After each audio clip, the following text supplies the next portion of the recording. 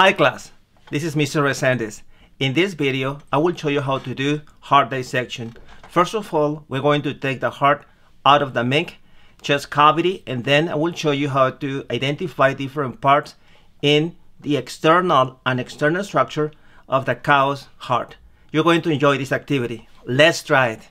Material to be used in this dissection. Scalpel, forceps or tweezers, needles, dissecting scissors, the mink specimen, and the cow's heart.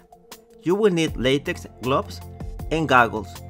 I recommend using an apron to avoid staining your clothes. Please review the safety instructions implemented in the previous dissection. You're going to transect or cut the chest cavity. Two of these cuts will be transverse, in the upper and lower part of the rib cage, while the other cut will be made vertically, through the midline as seen on the video. Make sure not to do deep cuts, otherwise you can damage the thoracic cavity internal organs. You will have to remove muscles from the chest area. To do this, use the forceps in one hand to hold the muscles apart, and with the other hand to make the cut using the scalpel.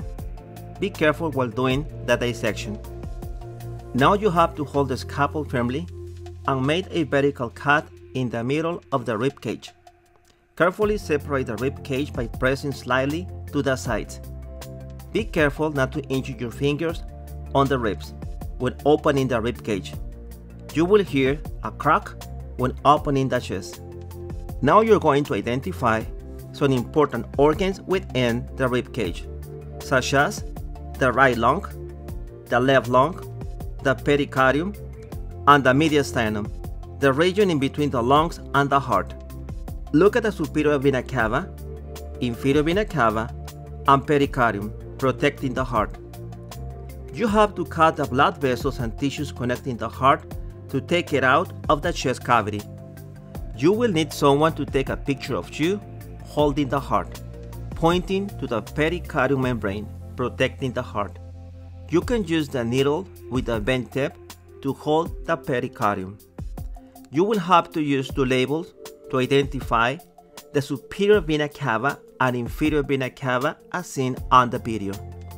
Now, very carefully, you're going to make a horizontal cut to observe the internal anatomy of the mink's heart.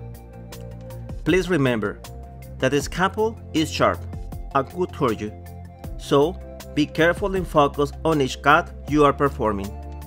At the end of this part of the dissection, keep the tissue and heart in a plastic bag and apply some Lysol.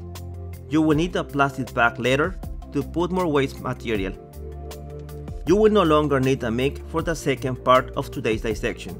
You can keep it in a plastic bag and apply Lysol on the anterior and posterior sides. You will continue with the dissection of the cow's heart.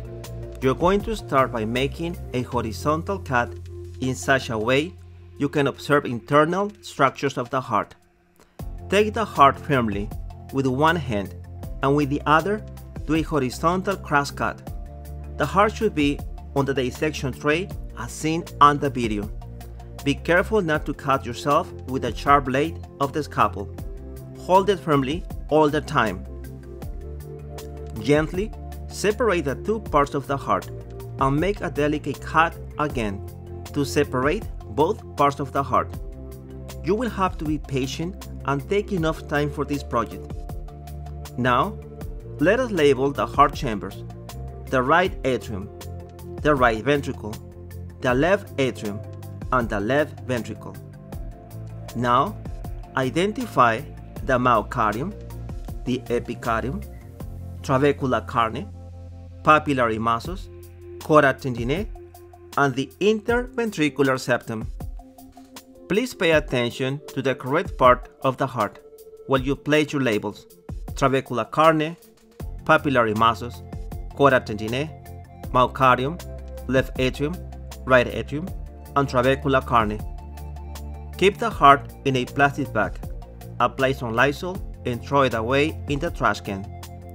Clean up all the dissection tools with soap and water. Keep the mink tools, tray in the dissection box and seal it. Keep it in a dry and fresh place for upcoming dissections. These are the pictures you're going to submit. Picture number one. The open means cavity. Please make sure the labels are not big to show the heart, pericardium, mediastinum, and the right and the left lungs. Picture number two. The transected heart with labels in the superior vena cava and inferior vena cava. Picture number 3. Picture showing the pericardium. Picture number 4. The transected mink's heart pointing internal organs. Picture number 5. The transected cow's heart with the labels of the right atrium, right ventricle, left atrium, and left ventricle. Picture number 6.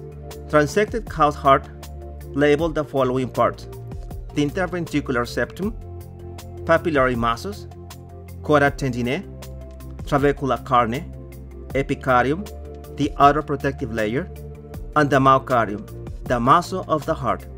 Paste all your pictures on a Word document and submit it one document as PDF file.